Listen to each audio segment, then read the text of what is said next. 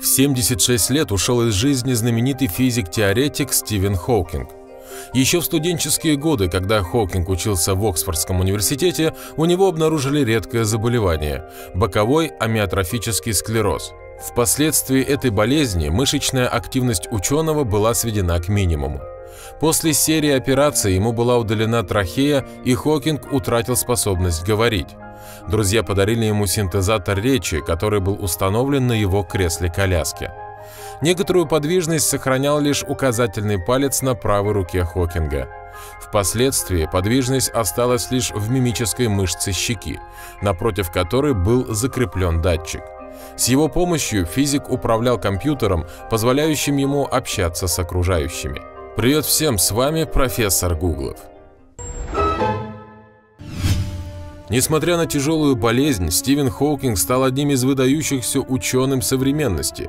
Он подтвердил теорию о возникновении Большого Взрыва, он также занимался исследованиями черных дыр, а еще ученый считался непревзойденным популяризатором науки. В своих книгах и трудах он рассказывал о безграничности мира, столкновениях галактик, близости звезд, идеальном порядке макрокосмоса и хаосе макрочастиц. Его книги настолько интересные, что все, от ученых до домохозяек, читают их с запоем. Для нас Стивен Хокинг является примером неиссякаемой воли, жажды оптимизма. Однако именно он, предрекший нашей планете страшный апокалипсис. Исследователь предполагал, что при самых благоприятных обстоятельствах катастрофа разразится примерно в 2600 году.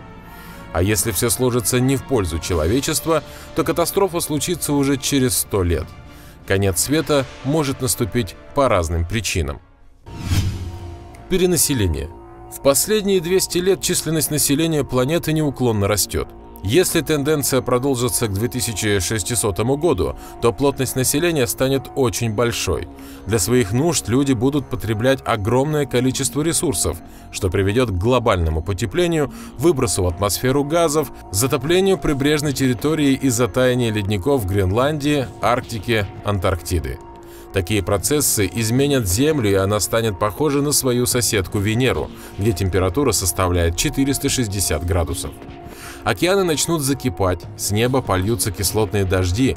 Кроме того, Землю может добить атомная война, когда какая-нибудь страна сбросит бомбу на своего противника и после произойдет обоюдное уничтожение. Взрывы будут продолжаться, пока не превратят нашу планету в руины. По словам Стивена Хокинга, пещерным людям сражения помогали добыть пищу, отвоевать территорию для продолжения рода. Сегодня войны бессмысленны, зато сродни по силе апокалипсису. Метеориты и астероиды. По информации НАСА, в ближайшие 200 лет мимо Земли пролетят 20 астероидов. Самый большой будет достигать в диаметре 1200 километров. Но вдруг гениальный ученый ошибается – Утверждение Стивена Хоукинга о грядущем конце света не соответствует действительности. Так считает известный астроном, профессор Мюнхенского университета Ульрих Вальтер. Изменение климата за последние 100 лет подняло температуру всего на 1 градус. Если, согласно самым пессимистическим прогнозам, в следующие 100 лет температура Земли повысится на 1,5 градуса, то на планете станет просто теплее. Примеру, температура в центре Мюнхена на 3 градуса выше, чем в сельской местности, и ничего, никаких катаклизмов не происходит. В своей книге «Суматоха о черной дыре» Ульрих Вальтер отрицает уничтожение Земли астероидами. Крупные небесные тела врезаются в Землю с периодичностью от 10 до 100 миллионов лет. Так что вероятность удара ничтожно мала. А если прогнозы Ульриха Вальтера чересчур оптимистичны? Все же ученые считают, что угроза глобального потепления вполне реальна. Не отрицают они также возможность падения метеорита. В последний раз небесное тело рухнуло на планету аж 66 миллионов лет назад, к слову, полностью уничтоживших динозавров. Так что после столь долгого перерыва вполне можно ожидать еще одного гостя с неба. Только на месте динозавров, скорее всего, окажутся люди. Но это еще не все беды, которые грозят человечеству. По мнению Стивена Хокинга, нашу цивилизацию может уничтожить искусственный интеллект. После того, как ученые создадут электронный разум, он ненадолго останется послушной игрушкой в их руках. Это совершенное устройство начнет развиваться все быстрее и быстрее, и людям, ограниченным слишком медленной эволюцией, придется подчиниться. В такой ситуации искусственный разум может наделать много бед, причем совсем не со зла. Просто он рассчитан выполнять задачи, не считаясь ни с чем. Впрочем, мы тоже так поступаем. К примеру, если нужно затопить район для строительства гидроплотины, никого не остановит попавшийся на пути муравейник. Вот и человечество может оказаться для искусственного интеллекта вроде таких муравьев. Получается, при таком количестве угроз гибель человечеству неизбежна. Стивен Хоукинг считает, выход есть. Нужно бежать на другие планеты. Для колонизации вполне подходят Луна и Марс, на которых есть почва и атмосфера. В перспективе можно замахнуться на более далекие миры. Ученый полагал, что вокруг Альфа Центавры, это ближайшая к нашей Солнечной системе звезда, может вращаться планета, пригодная для жизни.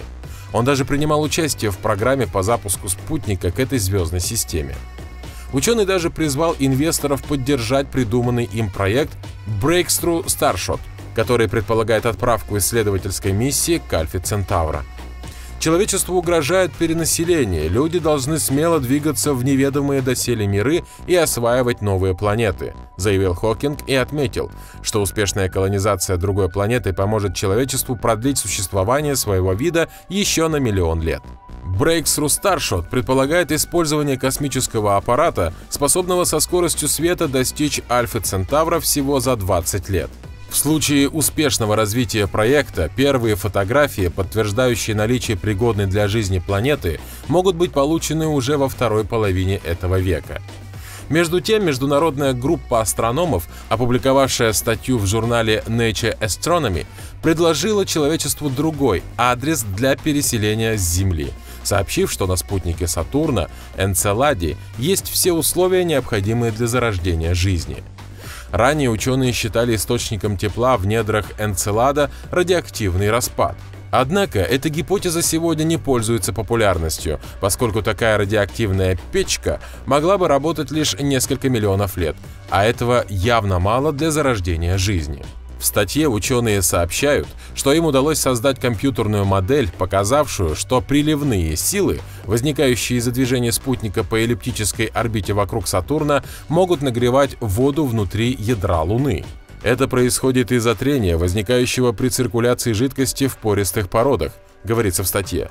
Температура воды повышается, и при достижении 90 градусов Цельсия она выталкивается в океан у полюсов Энцелада, а затем выбрасывается в космос в виде ледяных гейзеров. По мнению ученых, такой механизм мог бы работать в течение миллиардов лет, что может быть достаточным для образования живых организмов. По какому маршруту отправится человечество, когда ресурсы матушки Земли будут окончательно истощены, сегодня неизвестно. Возможно, на Энцеладе действительно есть условия, похожие на земные. Не исключено, что прав Стивен Хокинг.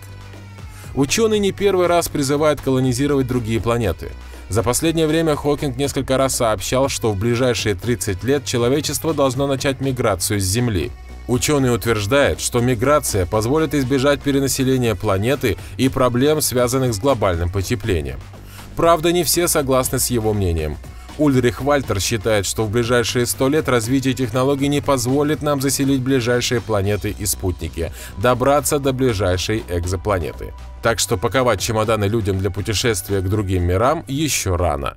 Но Стив считал иначе. В одной из своих лекций Хокинг заявил, что для переселения в другие миры не понадобятся специальные технические аппараты. Тоннелями в другие миры послужат вращающиеся черные дыры. Правда, это будет билетом в один конец. Ведь пройдя по такому тоннелю, человек никогда не сможет вернуться обратно. К слову, самое выдающееся научное достижение Хокинга тоже касается черных дыр.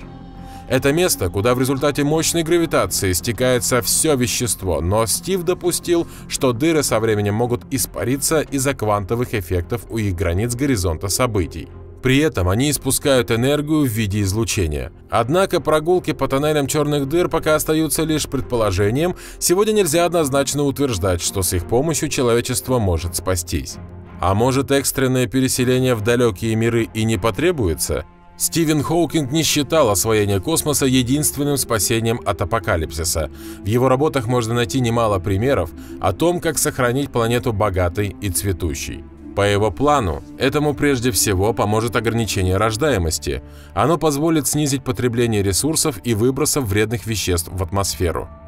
Также нужно бросить все силы на создание экономных технологий и экологически чистых источников энергии. Ученый предложил использовать в качестве такого источника энергии вышеупомянутые черные дыры. Если создать маленькую дырочку с размером с гору, то при испарении она будет вырабатывать рентгеновские и гамма-излучения с суммарной мощностью около 10 миллионов мегаватт. Этой энергии с лихвой хватит для всей планеты и еще останется. Люди, скорее всего, научатся создавать такие дыры, прежде всего благодаря прогрессу в теории струн. Правда, малые черные дыры могут мигрировать к Земле и вызвать катастрофу. Чтобы этого не случилось, ученые предлагают держать их за пределами планеты, например, на околоземной орбите. Можно решить проблему и с бунтом искусственного интеллекта. Хокинг призвал не останавливать прогресс науки, но посоветовал ученым и политикам быть более осторожными. Для этого нужно исключить разработки лишь жаждой обогащения. Из реторта ученых должен выйти только полезный для человека электронный разум, который можно полностью контролировать. Хокинг считал, что для борьбы с угрозой катаклизмов нужно создавать некую форму мирового правительства, однако он не исключает, что такого рода мировое правительство может превратиться в подобие тирании. Так что путь к спасению Земли может оказаться долгим и тернистым. Но при желании у нас все получится, ведь возможности человека практически безграничны. На этом все, друзья. С вами был профессор Гуглов. Увидимся завтра. Будьте здоровы.